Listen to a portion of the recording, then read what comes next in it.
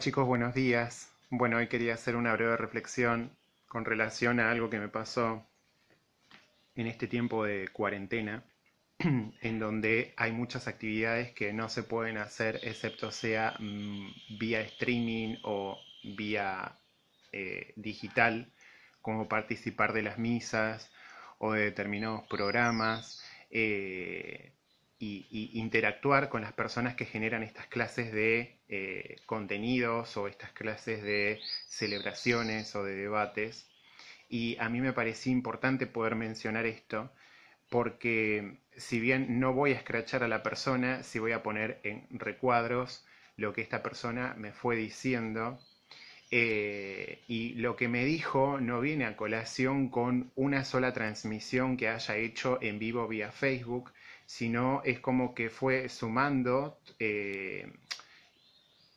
fue, fue cargándose o alguien le hizo notar que había una persona que él no conoce, que estaba comentando mucho sus videos y, y yo dije, bueno, no, a ver, yo respeté cuando, cuando me expuso esta situación de que le parecía como muy invasivo, pero también quería eh, hablar sobre el tema de la masividad en las redes sociales. Cuando uno se abre un perfil, vamos a hablar en cualquier red social, puede ser Facebook, puede ser Instagram, puede ser Twitter, o en este caso, como yo que estoy chapoteando en este mundo de, YouTube, eh, uno no es que se abre una red social para hacerse el sociable. Uno abre una red social precisamente para eso, para entablar lazos, vínculos con personas que ya conoce, con personas que aún no conoció, o crear nuevas eh, relaciones o solidificar determinadas relaciones. Les voy a traer este ejemplo, a mí me encanta hablar de, estas personas porque son personas que yo cara a cara no conozco, eh, amén de, de tener eh, cosas en común como puede ser la fe, eh, espero en algún momento, si sienten lo mismo que sintió este sacerdote, me lo digan, pero a la fecha no ha pasado y yo siempre me he mantenido dentro de límites de respeto, ellos mismos pueden dar fe. Estoy hablando de un peregrino gris o Helio Rojas que se encuentra en estos momentos en Italia, o puedo hablar, por ejemplo, de Sor Marta que se encuentra en Saúl, España, o puedo hablar de SM Dani que se encuentra en España, eh, o bueno, por ejemplo, Ramia Chanel que se encuentra también en España. Entonces, uno cuando en una red social encuentra a, una persona eh, que de repente está subiendo contenido de interés y uno comienza a comentar, comienza a compartir, no lo hace con la intención de invadir o hacerle sentir al otro molesto o, o nada, ofendido, agraviado, acosado, perseguido. Eh, estás creando precisamente eso, una red social y por eso estás en las redes sociales, porque de algún modo u otro, eh, bueno, en este tiempo de, de pandemia, en tiempo de cuarentena, estas cuestiones de redes sociales se han masificado mucho más, pero a mí en concreto con este, con este sacerdote acá de Argentina, creo que es de, no me quiero equivocar, Santa Fe, eh, la provincia de Santa Fe, eh, yo comencé a ver unas transmisiones que hacía todas las noches a las 20:30 de la noche, aproximadamente hasta las 21:30. A veces por problemas de conexión en internet se corría el horario o cortaba la transmisión en vivo y la volvía a tomar más adelante. Y, nunca eh, fui desubicado en ninguno de mis comentarios ni, ni en mi participación de sus vivos, porque eran transmisiones en directo. Y, lo hice desde, desde mi posición de primero y principal como cristiano, eh, después de hacer iglesia, iglesia virtual, este, este, este feedback de ida y vuelta, y de construir nuevos lazos. De hecho, a mí me encantó cómo encaraba estos encuentros fraternos de, a la noche eh, vía Facebook. Eh, un día me, me manda, era muy temprano cuando me manda este mensaje y me dice, perdóname, Hubo gente, o sea, él no se hizo cargo que a él le molestó, sino de que se lo hicieron notar, que había una persona que comentaba en, sus transmisiones en vivo o que dejaba muchos mensajes y le molestó. Yo, sinceramente, a ver, vuelvo a insistir y vuelvo a poner este, este ejemplo, este caso mío. Yo que estoy incursionando, indagando, investigando qué es esto de esta plataforma llamada YouTube. También tengo perfil en Facebook, también tengo perfil en otras redes sociales como Twitter. Y directamente uno sabe ¿sí? que cuando se mete en una red social y, y pone algo público, cualquier persona pública puede comentar, puede no comentar, puede clavar el visto y no va a decir ni A, o puede generar una interacción. Eso es una red social, por eso se llama red social. Y directamente si ofende tanto, ¿sí? Eh, que hayan personas que uno no conoce pero que te comentan, eh, te, nada, te pongan o me gusta, o, te den ideas, o, no sé, qué sé yo, te feliciten por lo que estás haciendo, por el contenido, por el material que estás subiendo, de ningún modo o bajo ningún término debería hacernos sentir mal o sentirnos acosados o sentir que esa persona está tratando de acaparar el contenido que está subiendo, porque una vez que uno crea un contenido en cualquier plataforma de cualquier red social y queda subido, ese contenido va mutando, se va transformando, no permanece del modo inicial eh, como fue subido o para el cual fue subido en el momento en cual fue subido. Entonces, yo creo que hay mucha gente que por ahí pertenece a otra generación que está indagando en estas cuestiones de las redes sociales y, realmente esta, esta, respuesta y esta contestación de este sacerdote a mí me, dolió. Me dolió porque fui totalmente respetuoso en todas las transmisiones que hizo. Eh, nunca dije nada desubicado.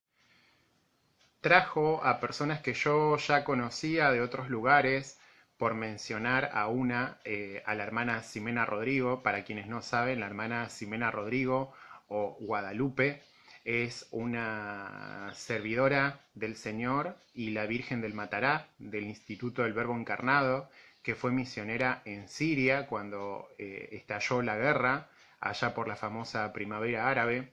Entonces es como que de algún modo u otro en sus transmisiones fue trayendo a personas que yo ya venía siguiendo por esta misma red social llamada Facebook o por otros medios, o se había generado ya un cierto interés y, obviamente, a ver, están haciendo como una, entrevista, una coparticipación y yo digo, bueno, vamos a seguir a, estas personas porque realmente lo que suben es, es nada, es eh, aparte de, entretenido y de educativo, eh, estaban, están bien planteados, o sea, no están mal planteados. Cuando esta persona a mí me expone que le molestaban mis comentarios, que comentar un poco menos, yo fui totalmente respetuoso, lo tenía entre la lista de mis contactos de Facebook. Si ustedes van a mi perfil de Facebook, van a encontrar muchas fotos de estos encuentros fraternos, o sea, no es necesario que yo mencione quién es el sacerdote, pero yo tenía muchas capturas de pantalla de estos encuentros fraternos porque realmente me parecía que eh, de algún modo u otro la iglesia se está ayornando a estos tiempos. ¿sí? De hecho, yo en mi perfil de Facebook, como en mis otros perfiles, eh, eh, sigo, ¿sí? y vuelvo a, repetir esto, interactúo con personas que pertenecen a, la iglesia católica o a la iglesia no católica o a otros cultos o otros credos o otras culturas. Y precisamente cuando vos dejas un comentario, eh, aportas tu idea, tu posición, lo que vos crees, lo único que vos estás generándole a esa persona es, eh, primero, incentivándole a generar similar contenido o modificar aquellas cosas que son malas o, todavía masificar lo bueno que está haciendo. Entonces, yo qué hice cuando esta persona a mí me planteó que, que, le parecía, le molestaba directamente que yo le comentara sus videos o que le mandara emojis,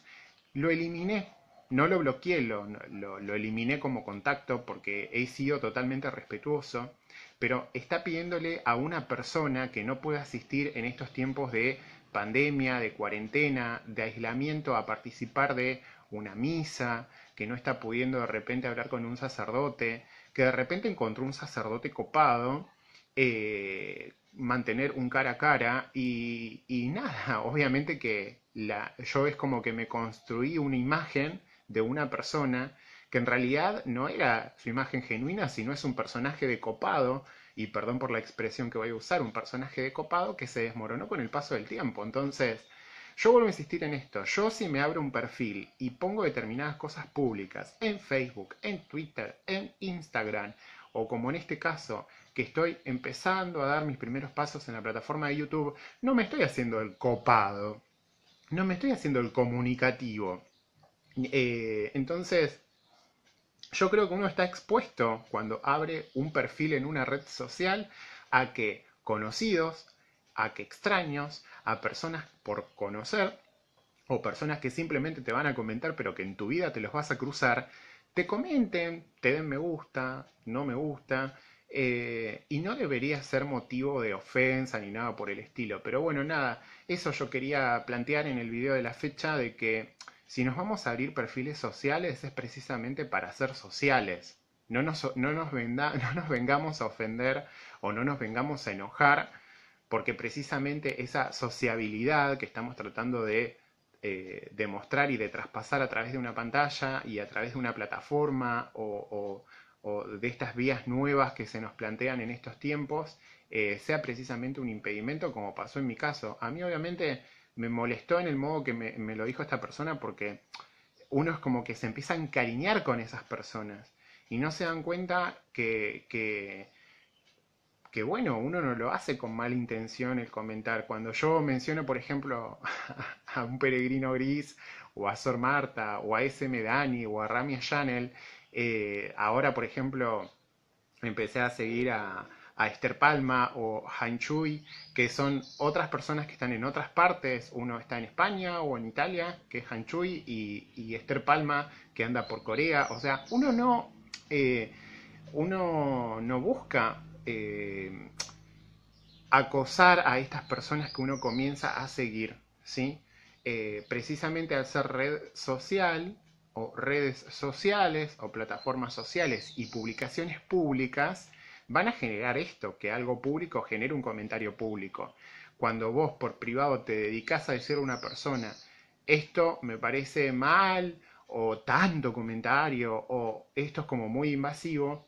es como que ya estás tratando de darle a esa red social que tiene una meta y que tiene una finalidad, que tenga otra meta y otra finalidad que uno solamente quiere darle o que uno solamente trata de ponerle ese enfoque y de alguna manera adoctrinar a los demás cómo poder eh, participar